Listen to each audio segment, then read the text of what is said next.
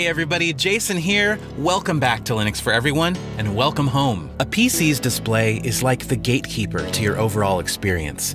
And if you're going to be gazing at it all day, it needs to be one of the best components of your overall PC package. Having said that, the most disappointing thing about this review is the tragic fact that it's literally impossible for me to show you how silky smooth, how sublime, how utterly joyous it is to watch the Juno Neptune 15's 240 Hz display in motion. It's only possible if you come over to Linux for Everyone HQ and appreciate it in person, but then you'd probably want to steal it, so no. I've used 60 Hz and 120 Hz laptops, but this thing is on another level. It kind of reminds me of the first time I tried NVIDIA's G Sync technology way back when. Suddenly, just watching your mouse cursor dance across the screen, a motion you've seen a million times, feels somehow revolutionary. That's how this feels, whether you're moving windows across the display, watching the hypnotically smooth system monitor draw out your CPU's performance graphs, or playing a game like Doom Eternal or CSGO. Seriously, though, I spent several minutes just moving my mouse cursor around when I first got this thing, marveling at the precision and smoothness. Put the Neptune 15 on your radar, because if you've never used the 240 Hz display, it may just change your life. Fortunately, the 1080p 240 Hz display on this thing is not where the highlights end. Before we dive into that, let's zoom out and look at the overall specs. Unlike a lot of Linux hardware companies, Juno has physical locations in both the US and UK. So the company ships its systems to the US, Canada, the UK, and Europe. The baseline Neptune 15 starts at 1,755 US dollars or 1,600 euros, and it comes with one CPU option a 10th gen 8 core Intel i7 10870H, although the system will be updated to 11th gen very soon. And uh, you also get 16 gigabytes of RAM up to 64 gigabytes and a 256 gigabyte NVMe SSD, and your total storage is configurable up to 4 terabytes. Dedicated graphics are handled by an NVIDIA RTX 3060, or you can upgrade to a 3070 or 3080. For connectivity, you'll get a micro SD slot, a USB 3.2 Gen 1 slot, dedicated headphone and microphone jacks on the left side, an Ethernet port, and two more USB 3.2 Gen 1 slots on the right side, and some thoughtfully placed ports on the back. HDMI out, mini DisplayPort out, and a single USB C Gen 2 slot, which which does support Thunderbolt 3. Rounding out the specs is a 720p webcam, which, yeah, underwhelming in 2021, and hopefully we can uh, do better next year. But the privacy slider Juno adds is a very welcome touch. You've also got a pair of downward firing Sound Blaster speakers, which get the job done. Is kicking out 140 frames per second at 4K resolution. No hardware upgrade was required. They lack the bass and clarity of like a MacBook speaker setup, but the peak volume on the Neptune is more than enough for an indoor Netflix or gaming session. And no, the CPU fan will not drown that out, although the GPU fan might under very intense gaming loads. The RGB keyboard and glass trackpad are both highlights for me as well. I'm still a sucker for dedicated right and left physical buttons on my trackpads, and this particular one is very comfortable and pretty precise out of the box. The keyboard is also something I don't mind typing on all day. The deck doesn't have much flex to it, the keys have a nice amount of travel, and it's actually comparable to the newest System 76 Oryx Pro. In fact, it uses a very similar, if not identical, chassis. And yes, this is an RGB board, which increases both your gaming FPS and your words per minute output by about 10%. Seriously though, it's a joy to look at those white accented keys, and changing colors and brightness is a snap thanks to the GNOME applet that ships with this. On the OS side, however, Juno only ships this system with Ubuntu 2004, and that's it. But this isn't remotely a vanilla install. Juno adds a bunch of extensions and extra packages into the mix here. Some are obvious, like the fan control, the lock key indicators, the RGB keyboard, and NVIDIA Prime Select applets up in the panel. some aren't so obvious, like there's Flatpak support built in, a ton of printer drivers, and alternative Windows fonts. Here are some of the additional packages they bundle in. Nice.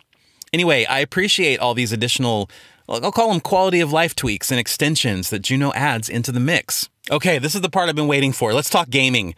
In addition to Intel's Comet Lake CPU, my review system shipped with an NVIDIA RTX 3060 and 32 gigabytes of RAM. And yes, those are good old fashioned, non soldered, upgradable RAM modules.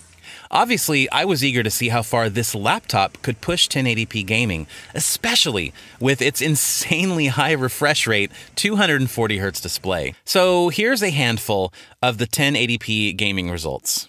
Those are all just canned benchmarks. So let's talk actual, real world gameplay. Let's talk about Doom Eternal. Cranking the graphics quality up to ultra and playing the first area of Ancient Gods I got an average of 112 FPS, and I measured that with uh, Mango HUD, by the way.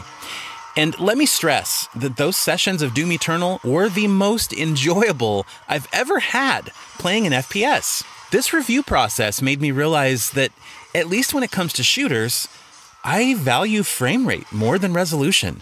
I've played Doom Eternal on a 4K 60 monitor, and I marveled at how gorgeous it looked, but playing it on this 1080p 240 hertz laptop, I marveled at how invigorating and how exciting it felt to play this game. Doom Eternal was just buttery smooth and super responsive. Because of the high refresh rate display, I didn't notice any stuttering at all, no input latency, no screen tearing. So let's talk about uh, the dedicated CPU performance that you can expect.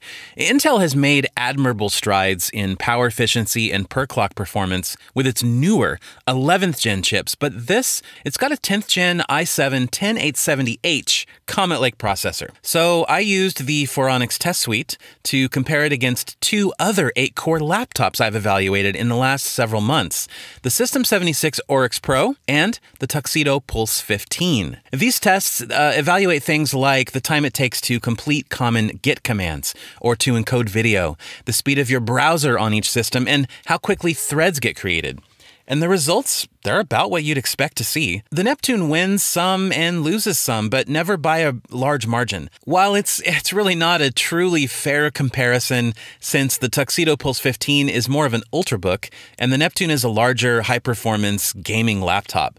But the performance per core metric for most benchmarks here is eye-opening. Okay, let's talk battery life. This machine is what some of you might refer to as an Optimus laptop. It uses hybrid graphics. Historically, this may have been a nightmare on Linux, but the last two years has seen notable leaps forward in usability thanks to both the NVIDIA driver itself and the tighter integration for prime graphics switching in GNOME. It's really easy to switch back and forth between Intel and NVIDIA graphics here. So when you want to be away from the wall, browsing or coding or streaming video, switching off NVIDIA graphics yields a serious boost in battery life. To test the Neptune's battery, I used the included Prime Select applet to switch graphics over to Intel, rebooted, and then double checked via the NVIDIA X Server settings utility that Intel was indeed selected. Then I lowered the screen brightness to 30%, and I actually found that comfortable for an indoor environment because it's a pretty bright display. Uh, I switched the refresh rate down to 60 Hz, disabled the keyboard backlight, and left Wi Fi and Bluetooth on. Then I launched Firefox 92 and streamed video on YouTube at 1080p until the system ran out of juice and put itself into hibernation. During the process, the laptop stayed cool and quiet and finally ran out of juice after 5 hours and 25 minutes, which is a satisfying result given this laptop's footprint and specs. I guess if I had to pinpoint something to criticize about this system, offering Ubuntu 2004 pre installed is certainly a safe and sane choice. But other Linux PC companies like Star Labs, like Slimbook, and like Tuxedo Computers offer a handful of distro options. In the future, it would be awesome to see Juno expand to at least other flavors of Ubuntu. So, yeah, between the build quality, the battery life, the gaming performance, and that outstanding display, it's easy to recommend the Neptune 15. That being said, it might be wise to wait for Juno to refresh the Neptune with that 11th gen Intel processor. That upgrade will only serve to improve performance and power efficiency, and my core praises for this system will remain intact. That's going to do it for this review of the Juno Neptune 15 laptop. Uh, thanks a lot for watching this, especially if you made it all the way to the end. If you enjoyed this, please give it a thumb up, uh, comment, and let me know what you thought of the review or what you want to know about other Linux laptops. And if you like this kind of stuff and want to see more of it, subscribe to the channel. Until we chat again in the next video, you guys take care and take care of each other. See ya.